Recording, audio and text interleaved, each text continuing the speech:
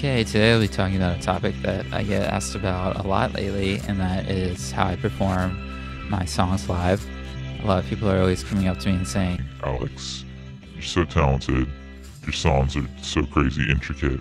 How is it possible that you were able to pull them off live? and you know I've I've really uh, been through the ringer, tried a bunch of different stuff over the years. I've been playing live with this project since I think 2017, 2016, so about six years. I'm gonna get into what I'm using now and what I've done before. But first, word from one of our many wonderful sponsors. Yo, this is a Moon Dragon Fitness gym, man, all about metal. Look at this.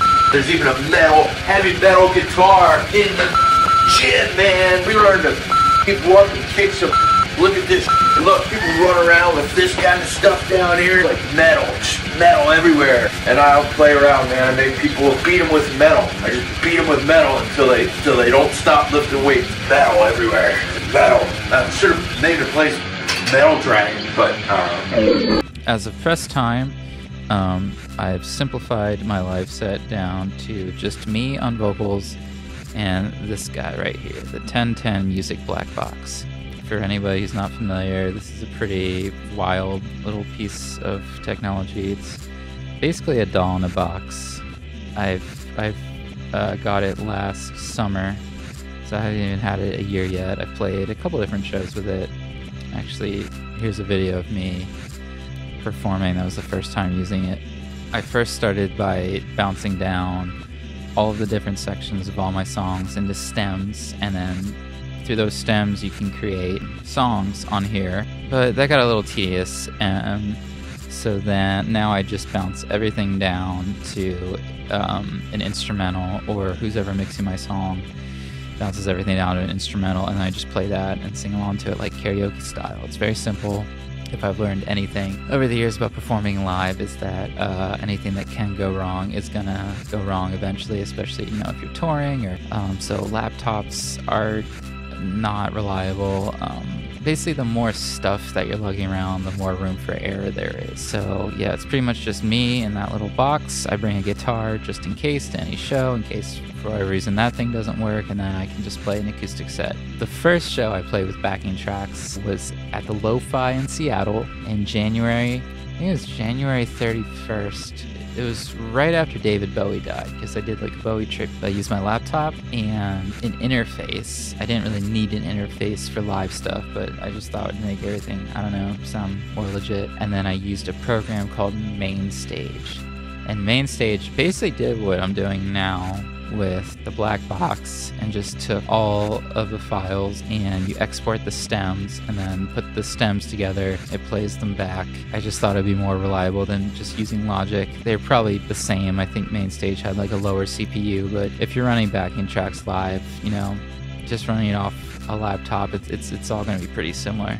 I used the laptop and Mainstage for quite some time. Then I just used uh, Logic, and then I had a Zoom R8 that I would have as backup and run tracks through that. And then when I went on tour in 2019, I was still. Oh yeah, also it should be noted during this time I was still playing guitar and singing and also keyboard along with the backing tracks, which is just way too much stuff to set up, way too much stuff to log around. I really did not need all that stuff.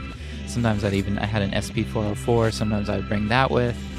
It was all pretty unnecessary. I really wasn't, you know, confident enough in myself as an artist performing live, so I thought if I had a bunch of crap with me on stage, then, you know, people would think I'm talented or something. It really wasn't until I think the end of 2019 that I just started performing karaoke style like I do now, where I would bounce everything down to an instrumental and uh, sing along to it. But yeah, you can do this with your phone. You can, you know, bounce everything down. Three things to kind of make everything a little easier is, is try to not to have too much time between songs. I'm still working on a way with this that I can just have the songs kind of blend into each other. I may just do like one long track and then just, you know, hit play on that. But the load time on that between different tracks isn't too bad. But yeah, you want to cut down on as much time in between songs as possible, especially if like you're a solo artist on stage playing the backing tracks because if you have other, you know, musicians and stuff with you, they can kind of like talk or noodle around on something or make some noise, but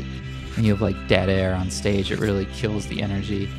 have a couple different backups, you know, have your set backed up on a phone, on a computer, on any number of devices because, you know, like I said, anything that's going to go wrong, it's going to happen when you're performing. Yeah, basically, you know, you you don't even want to think about how the sound is going to be made. You want to think about your performance and, and connecting with your audience. And if you're spending too much time worrying about, you know, hitting this pedal or this button or this key at this time, you know, it, it just kind of detracts. You have to sort of think of yourself as like a front man of your own band, and the front man's only job, not their only job, but, you know, the front man's there to, to, to really, you know, bring the audience in. So yeah, you're, you're almost becoming like a cheerleader for your own songs. Yeah, so simplify, make sure you have as little dead air between songs as possible. Have fun. Those are the three takeaways from today. Uh, man, these are getting bad.